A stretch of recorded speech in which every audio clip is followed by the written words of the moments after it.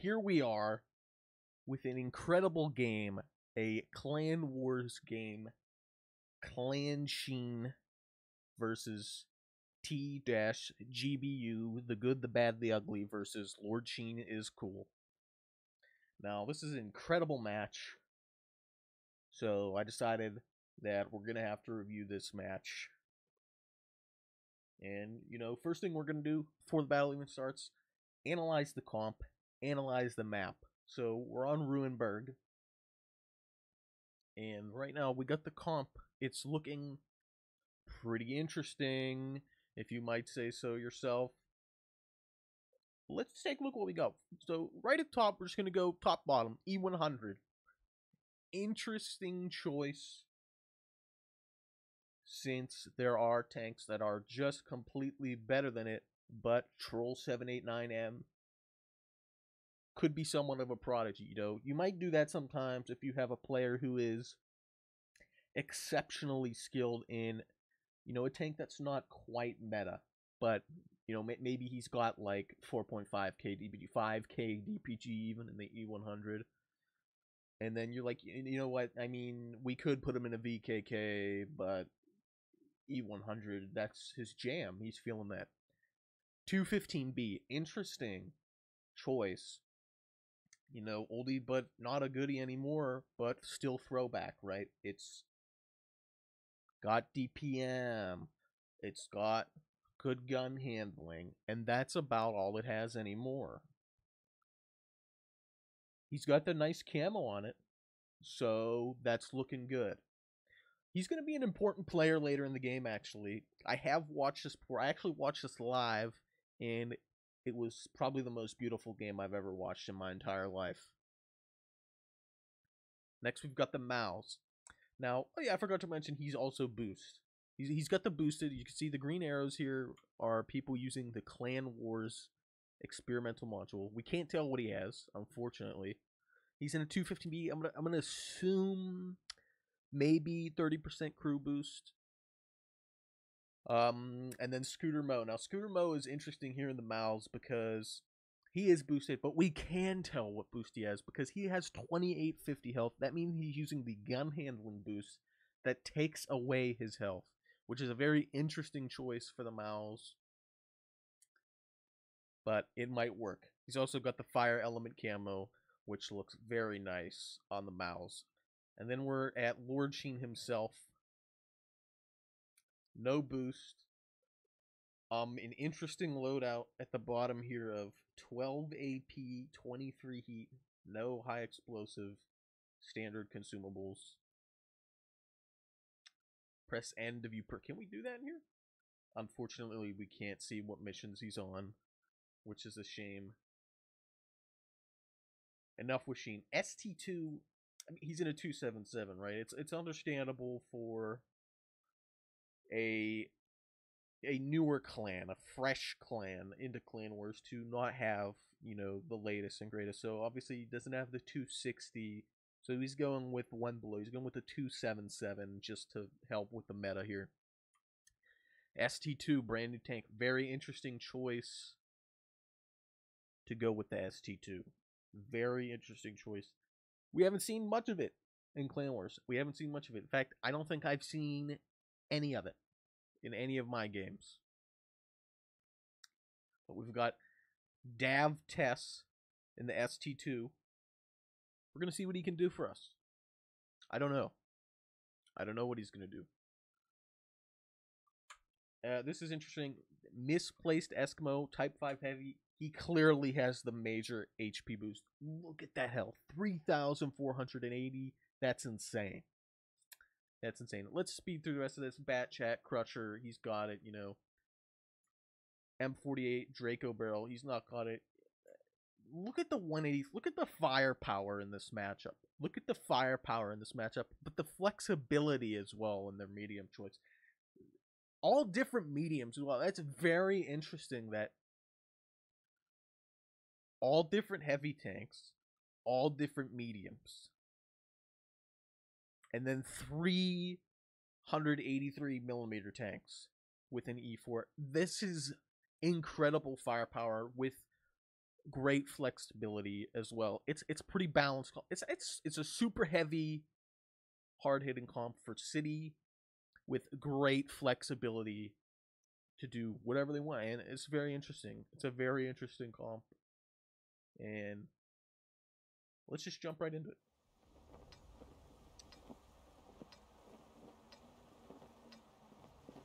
Draco Barrel says, uh.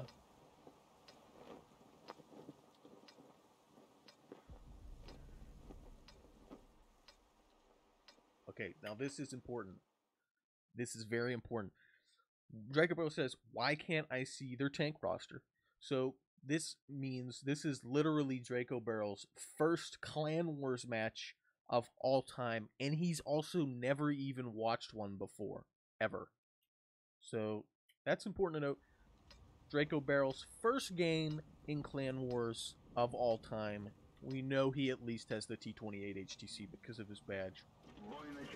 Good job. Good job, yeah, good job. Scooter Mo, you don't see them. So Scooter Mo is experienced.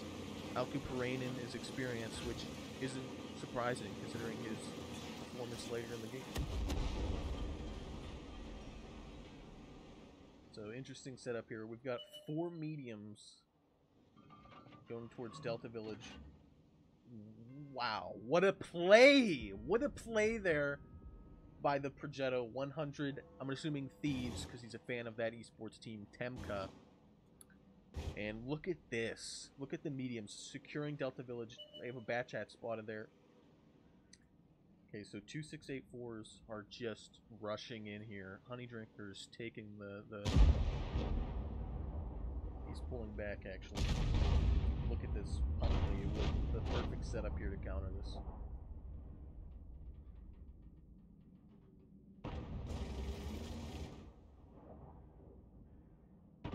do have the zoom out mod to help see things a bit more clearly here. Look at all that vision. Huntley gets a free shot there. Some beautiful shots on the 277s. Scooter Mo's unfortunately lost some health. But, you know, that was necessary. The medium tanks have completely secured Delta Village. They're just against one Bat Chat. You know, and look at this. Perfect lines of fire here by the medium tanks. Draco Barrel, he's over here. He's securing the zero line, right? He doesn't need to support the mid. He's, he's just securing the zero line. So these guys are trapped, right? Because they're just going to get shot from mid. Okay, so Temka's moving up.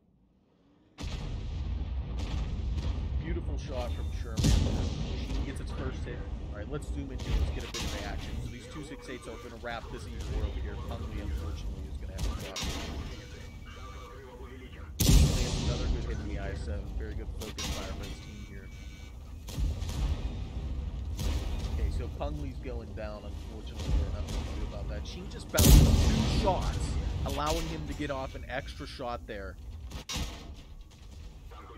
Pungley unfortunately drops. Look at this damage into Johnny. Look at that damage into Johnny. Oh my good. What an amazing job by Pungley.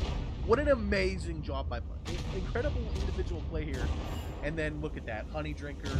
Really, man. Sherman's Sureman's on his last leg, and Honey Drinker tracks his teammate there. I mean, mistakes are made in the heat of the battle and the intensity here, but uh, very unfortunate for Sherman still. Sherman doing what he could in the position, getting his final damage, but Pungley, though, amazing job by Pungley getting all that damage in there all by himself. Look at the 268 force, look at the 268 push around. Incredible. Now, you might think, are these guys just going to push in? Is TGBU just going to push into Clan Sheen here? But they don't. They don't, right? Ooh, the Fighting Jew, unfortunate miss there.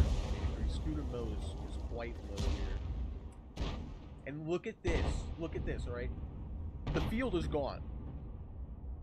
Greenlev and Draco Barrel have done a, an excellent job securing it, pushing down, but right now we've got a major brawl going on. Scooter Mo falls. Unfortunate. He gives a little bit of cover for Temka, but... Ooh. Oh my goodness. And 183, that's a big gun. Another big gun out of the fight. Two 183s are now out of the fight. But a beautiful shot by Troll. A beautiful shot by Troll. Who, by the way, was firing AP at the start of the game, which is an interesting choice. It's an interesting choice. I'd love to hear like what made you think load AP first. I don't know, but it's interesting. Maybe for like a, a light tank, but I, I, don't know. That wouldn't really make sense where he went, but takes a hit there. Alku Parainen secures a kill on the 2684. And again, Troll lands a beautiful shot. Dav gets a good shot in as well. So Temka's getting good hits in this mouse here, Armored Viking. Crusher is a bit a bit trapped here. But Draco Barrel still going healthy. Look at these shots. Look at this brawl. Straight up brawl here. They're just demolishing TGBU, right? TGBU, they don't know what to do. They they're clueless. They're clueless, right? They had so many tanks full in here. Alcuparainen still on full health. Still on full health in his 215B. Trading out kills here. Focusing them down with his DPM. And there's nothing they could do. Armored Viking is now in a crossfire, right? He's he's getting shot by Draco Barrel and Grilev. He's being shot by Temka, Honey Drinker. He's stuck. He can't go anywhere. The 2684s, they're panicking. TGBU at this point, they must be thinking we just have to hold back and hope that they that they make mistakes pushing into us because they may have had some advantage here initially where they could have all just pushed around and wrapped these guys. But whatever advantage they have, I mean, they bled so much to Pungli, right? Pungli did incredible here. Just halting them. And then Alku Parainen still 2,500 HP, you know. Temka farming damage in the mid the whole game. Right? Like, just incredible performance from these two players, Alku Parainen and, and Temka. We're at Honey Drinker here because this is uh, Sheen, who Sheen's spectating. And this is, after all, Sheen's replay. So the 4K5, you know, he, he sacks himself, but he gets a he gets a, a very good kill on the Mouse Armored Viking for 800 damage, I believe. Which, at this point, you know, the game is basically over. The game is done. Like, it was looking bad, you know, a few minutes ago, but in this past few minutes, you're just like, Sheen won, Clan Sheen won, and it was a it was incredible, right? Alcuparainen, look at this, four kills, no damage tanking. They said this tank sucks for Clan Wars. LOL. I mean, wow. I, it's incredible. It's incredible, right? I mean, like, what a game.